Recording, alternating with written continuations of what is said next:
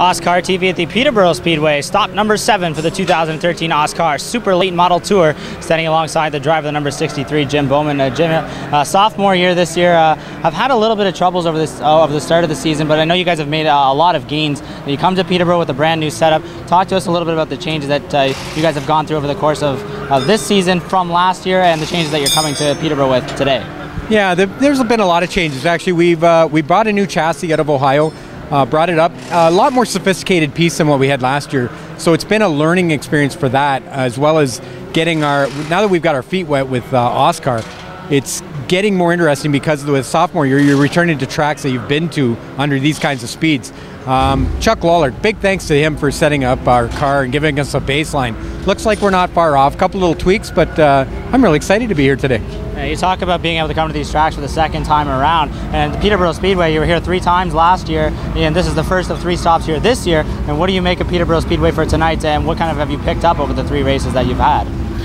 You know, yeah, I forgot how fast it is through the corners here. Uh, last year, we were here three times, but I lent my car out once and we broke once. So technically, I only drove once here uh, last year. So um, I forgot how fast it is through the corners. So it was a real nice, uh, really pleasant surprise to get that fast through the corners.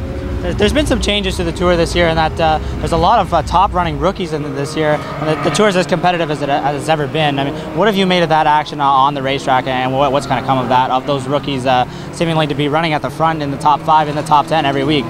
you're, you're just going to see more and more of that. This this is the series to be in in all of Canada.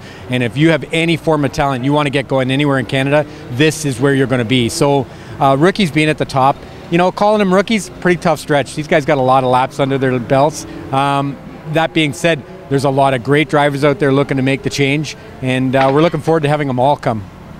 Now, I know there's a lot of people that uh, have helped you get here. You mentioned Chuck Lawler and, and, setting this car up, but I know you got a dedicated crew that comes and helps you every week as well.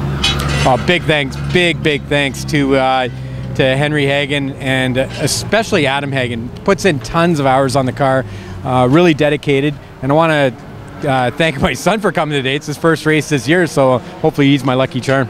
Great new paint scheme on this race car this year. I know you still got the same sponsors that, that have been with you for a long time, and I know you love to thank them every time you get a chance to. Absolutely. Sure want to say thanks to Hanover Holidays and uh, Cash In and Dinah Stellings Mortgages and Remax. Nothing but the best. There you have it. Jim Bowman competing here at the Peterborough Speedway, stop number seven of the 2013 OSCAAR Super Late Model Tour. For OSCAAR TV, I'm Clayton Johns.